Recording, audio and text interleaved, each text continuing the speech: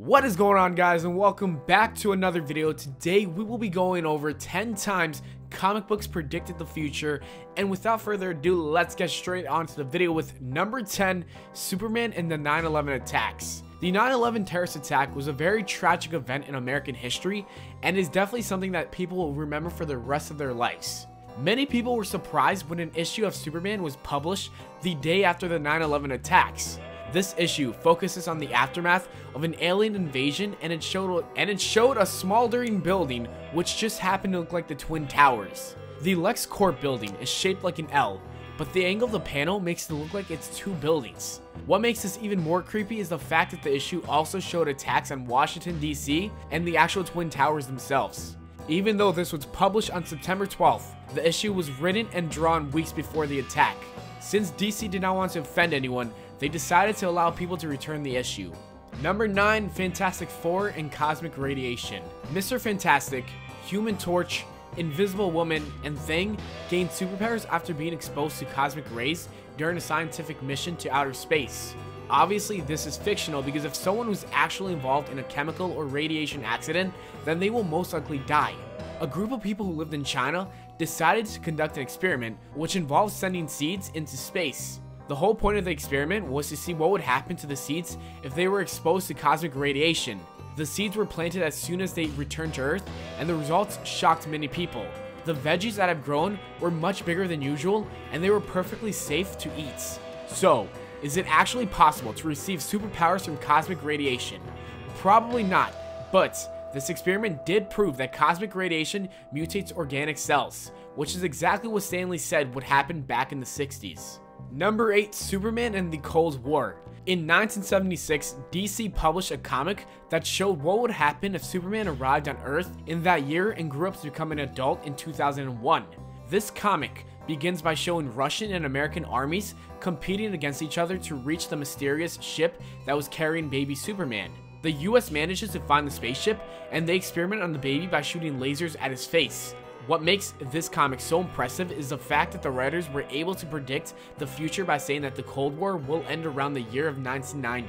This comic was written in 1976, which is a time period in which relations between the US and Soviet Union were still very tense. So most people thought that the war would last for many more decades. Many comic books tried to predict how the Cold War would end, but they were wrong since most of the stories involved nuclear attacks. In this Superman comic, the Cold War ended due to prolonged diplomacy. Number 7 Spider Man and Electronic Tagging. In case you didn't know, electronic tagging is the attaching of electronic devices to people or goods for monitoring purposes. They are mostly used to track offenders under house arrest or to prevent shoplifting. This technology was around in the 60s, but people did not use it that much until the 80s. What many people don't know is that a Spider-Man newspaper strip inspired its own technological innovation. On August 9th, 1997, Kingpin captured Spider-Man and strapped an electronic radar device on his wrist. He did this because he wanted to make sure Spidey didn't mess with his plans. In 1983, a judge named Jack Love remembered reading this newspaper strip and realized that this electronic device can be used to stop jails from being overcrowded. In a way, this Spider-Man storyline predicted and inspired the invention of electronic tagging. Number 6. X-Men and the 9-11 attacks. In 2001, Grant Morrison's infamous run on X-Men showed a plane flying into a skyscraper in September of 2011. This was not the only time X-Men predicted the 9-11 attacks. During the 1980s, X-Men comics were very popular, which is what caused Marvel to introduce the daughter of Scott Summers and Jean Grey. Rachel Summers comes from an alternate future Earth known as Earth 811. Since there was so much destruction in her world, she decided to go back in time so she could create a better future by joining the X-Men. In one of her first missions, Rachel is battling the Hellfire Club, and she was surprised to see that New York was filled with so many buildings. In the time period she originally came from, New York was just a wasteland. The biggest difference she noticed was that the Twin Towers were still standing, but in her time, they had been destroyed in a terror attack. This 1985 comic doesn't tell the fans when the buildings were destroyed, but assuming that it was around 2001 would not be far-fetched. Number 5 Superman and the Challenger Disaster The Space Shuttle Challenger disaster occurred on January 28, 1986. The NASA Space Shuttle orbiter broke apart 73 seconds into its flight and it led to the death of 7 crew members. The 80s was also a time period in which John Byrne became the new writer and artist of Superman comics. In the first issue, Superman was supposed to save a NASA space shuttle from crashing, and this was going to make him an overnight sensation. The Challenger disaster happened just before the comic book was published, so Byrne decided to make a few changes because he did not want it to make it look like he used this tragic event as inspiration. He changed the space shuttle into an experimental space plane. There is one very big similarity between the Superman comic and the Challenger disaster. In the comic book, there is one non-astronaut woman on board named Lois Lane. In the real world, a social studies teacher named Christa McAuliffe was one of the seven crew members who died. Number 4 Marvel Team Up and the New York Blackouts. A big difference between DC and Marvel is that DC characters usually live in fictional cities, while many Marvel characters live in real world locations such as New York. John Byrne created an issue of Marvel Team, and it involves Spider Man and Wasp battling Equinox. He is a villain who is capable of shooting fire from his arms. Equinox starts firing at random police officers and one of his stay blasts hits a building and causes a power transformer to short circuits. There was a massive blackout throughout the entire city, which is exactly what happened in 1977. This issue came out on the same week as the 1977 New York blackouts. But if you look at the cover, it will say that it was published on August because comics are usually released a month or two ahead of the cover dates. The reason why predicting a blackout in 1977 would be so difficult is because there had not been a blackout in NYC since 1965, and there wasn't supposed to be another one until 2003. Number 3 Wonder Woman and the Death of Princess Diana. Superheroes are known for dying and coming back to life, which is exactly what happened to Wonder Woman in 1997. She fell into a coma, died, and eventually came back to life so she can become a goddess on Olympus.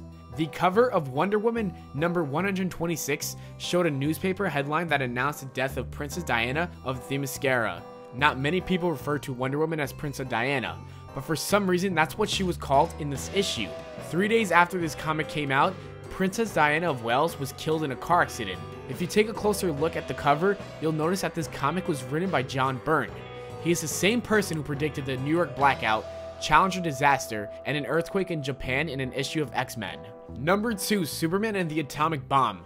A Superman comic from 1945 shows Lex Luthor creating a new device to cause chaos in Metropolis, which is basically the plot of half the comics Lex Luthor appears in. What makes this storyline so special is that his new invention was the atomic bomb. While this comic was being written, America was secretly working on the first atomic bomb. Since the government wanted to keep the bomb a secret, the Defense Department ordered DC Comics to pull the story. DC listened to them even though the government never told them why they had to pull the issue. Since DC did not know what they did wrong, they made the same mistake a few months later. A Superman newspaper strip showed a physics professor with a cyclotron to find out if the Man of Steel is invulnerable as he says. This was published on April 1945, only four months before the atomic bombings of Hiroshima and Nagasaki. At this time, almost everything related to atomic energy was censored by the government, but Secret Service did not have enough time to contact DC and tell them to stop printing the newspaper strips. Within a period of a few months, Two different Superman writers could have gotten DC in a lot of trouble by spoiling a super secret government project. And number one, National Comics and Pearl Harbor.